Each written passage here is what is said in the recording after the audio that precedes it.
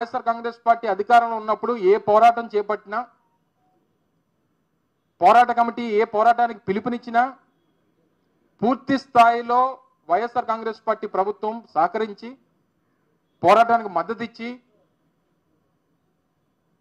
అన్ని రకాలుగా సహకరించి ఆ పోరాటాన్ని ముందు తీసుకెళ్ళేటువంటి కార్యక్రమం చేశాం. మేము ప్రత్యక్షంగా పోరాట కార్యక్రమాల్లో ఇన్వాల్వ్ అయ్యాం. రాష్ట్ర మంత్రిగా ఉన్నప్పుడు నేను కానీ లేదా మా రాజ్యసభ సభ్యులు అప్పుడు విజయసాయి రెడ్డి గారు కానీ తర్వాత సుబ్బారెడ్డి గారు కానీ అనేక మంది స్థానికంగా ఉన్నటువంటి శాసనసభ్యులు నాగిరెడ్డి గారు గతంలో అనేక కార్యక్రమాలు నిర్వహించినప్పుడు అన్నిట్లో ఇన్వాల్వ్ అయ్యి పూర్తి స్థాయిలో రాష్ట్ర ప్రభుత్వం నుంచి సహకారం అందించి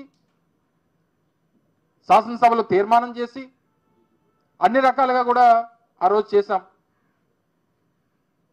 కానీ మొన్న ఒక కార్యక్రమం చేపడితే మొన్న కార్యక్రమం చేపడితే ఏ రకంగా పోలీసులతో విచక్షణ రహితంగా కార్మికుల మీద దాడి చేయించారో మనం చూసాం. చివరికి లాఠీ చార్జ్ వరకు వెళ్ళినటువంటి పరిస్థితులు చూసాం. చివరికి కేసులు పెడతామని చెప్పి బెదిరించినటువంటి ప్రభుత్వాన్ని చూసాం. ఎంత పెద్ద ఎత్తున కార్మికులు రోడ్ల మీదకి వచ్చి వాళ్ళు ఇబ్బంది పడతా ఉన్నాం మాకు కావాల్సినటువంటి సహకారం కేంద్ర రాష్ట్ర ప్రభుత్వాల నుంచి అందట్లేదు అన్నటువంటిది ఒక పక్క కార్మికులు చెప్తా ఉన్నారు. చెప్పండి మేము ఒకటే కోరుతా ఉన్నాం చంద్రబాబు నాయుడు గారు.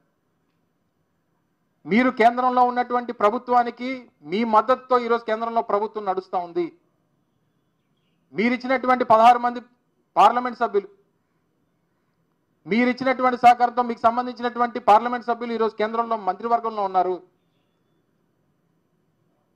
ఈరోజు భారతీయ జనతా పార్టీకి నేరుగా పూర్తి స్థాయి మెజార్టీ రాలేదు. మీరిచ్చినటువంటి సహకారంతో కేంద్రంలో ప్రభుత్వం నడుస్తూ ఉంది. ఇవ్వండి ఒక అల్టిమేటం ఇవ్వండి. భారతీయ జనతా పార్టీకి కేంద్రంలో ఉన్నటువంటి ప్రభుత్వానికి మీరు కానీ విశాఖపట్నం స్టీల్ ప్లాంట్ని ప్రైవేటైజ్ చేస్తే మా మద్దతు ఉపసంహరించుకుంటాం. అదే జరిగితే కేంద్రంలో ప్రభుత్వం కూలిపోతుంది అన్నటువంటి మాట చెప్పండి. ఎందుకు కేంద్ర ప్రభుత్వం దిగిరాదు అని అడుగుతా ఉన్నాం. ఒక విశాఖపట్నం స్టీల్ ప్లాంట్ కోసం వాళ్ళ ప్రభుత్వాన్ని వారి తాలూకా అధికారాన్ని వారి తాలూకా రానుటువంటి నాలుగున్నర సంవత్సరాల అధికారాన్ని కోల్పోతారని నేనైతే అనుకోవట్లేదు. తప్పకుండా విశాఖపట్నం స్టీల్ ప్లాంట్కి సహకరిస్తారని చెప్పి మీరు ఆ అల్టిమేటం ఇస్తే తప్పకుండా సహకరిస్తారని చెప్పి అనుకుంటా ఉన్నాం. కానీ మీ నోటంటే ఆ మాట ఎందుకు రావట్లేదు? రెండు పార్లమెంట్ సభ్యులు కలిగినటువంటి జనతాదళ్ కుమారస్వామి గారు ఇప్పుడు కేంద్రంలో స్టీల్ శా- శాఖ మంత్రిగా ఉన్నారు.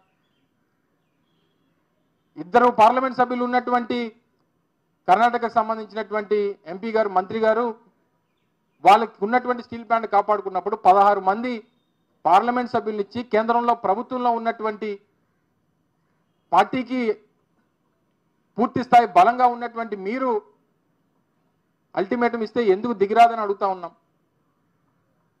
దీంట్లో ఉన్నటువంటి రాజకీయ లొసుగేంటి మీకున్నటువంటి మీకు ఉన్నటువంటి ఇంటర్నల్ లోపాయికారిగా జరుగుతున్నటువంటి ఒప్పందాలు ఏంటని అడుగుతా ఉన్నాం. ఇరవై ఆరు వేల ఐదు వందల ఎకరాలు ముప్పై మూడు గ్రామాలు ఇప్పటికీ కూడా డిస్ప్లేస్డ్ ఫ్యామిలీస్. ఈ రోజుకి కూడా ఇంకా దాదాపు ఐదు వేల నుంచి ఆరు వేల మంది డిస్ప్లేస్ ఫ్యామిలీకి సంబంధించినటువంటి ఆ లీగలైజ్ ఎవరైతే వారికి ఇంకా ఉద్యోగాలు లేవు. తొంభై రెండులో మొదటి ప్రొడక్షన్ మొదలైంది. దాదాపు ముప్పై రెండు సంవత్సరాలు పూర్తవుతా ఉంది. మళ్ళీ ప్రభుత్వం ఈరోజు ఈ రకమైనటువంటి తప్పుడు నిర్ణయాలు తీసుకుంటా ఉంది. గతంలో రెండు వేల నాలుగులో రాజశేఖర రెడ్డి గారు ముఖ్యమంత్రి అయినప్పుడు ఇదే డిస్ప్లేస్ ఫ్యామిలీకి సంబంధించి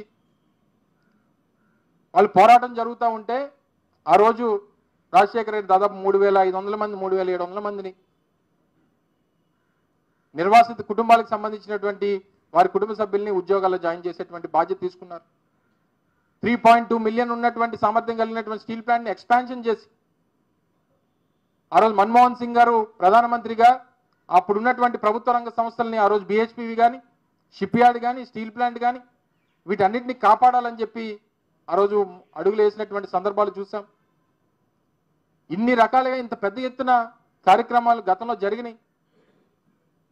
రెండు వేల ఒకటిలో ఇదే ముఖ్యమంత్రి చంద్రబాబు నాయుడు గారు ఉమ్మడి రాష్ట్రానికి ముఖ్యమంత్రిగా ఉన్నప్పుడు పక్కనే ఉన్నటువంటి జింక్ హిందుస్థాన్ జింక్ని డిజిన్వెస్ట్మెంట్ అయిపోయింది. అమ్మేశారు మొత్తం పూర్తిగా ప్లాన్ని ఎత్తేసేటువంటి కార్యక్రమం చేశారు. అప్పుడు కూడా స్టీల్ ప్లాంట్ని ఇదే రకంగా చేయాలని చెప్పి చూశారు. ఆ రోజు కూడా పోరాటం జరిగింది. ఆ రోజు కూడా పెద్ద ఎత్తున పోరాటం చేశారు.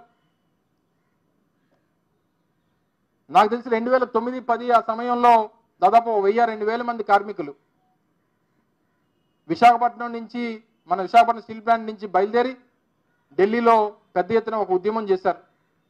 సొంత గన్లు విశాఖపట్నం స్టీల్ ప్లాంట్కి ఇవ్వాలని చెప్పి. ఆ రోజు ఇప్పుడున్నటువంటి ముఖ్యమంత్రి వచ్చి పెద్ద పెద్ద మాటలు మాట్లాడారు. తర్వాత రెండు సార్లు ముఖ్యమంత్రి అయ్యారు. ఇప్పుడు రెండో పర్యాయం ముఖ్యమంత్రిగా ఆయన ఈరోజు వ్యవహరిస్తూ ఉన్నారు.